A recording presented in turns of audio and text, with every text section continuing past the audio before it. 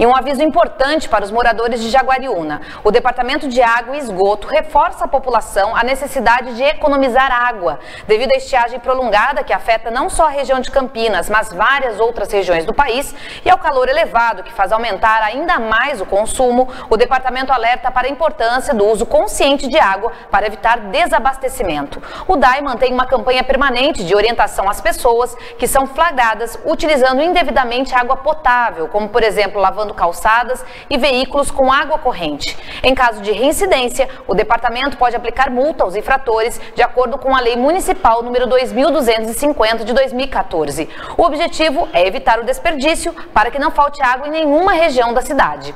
Lembre-se, água, se você não economizar, vai faltar.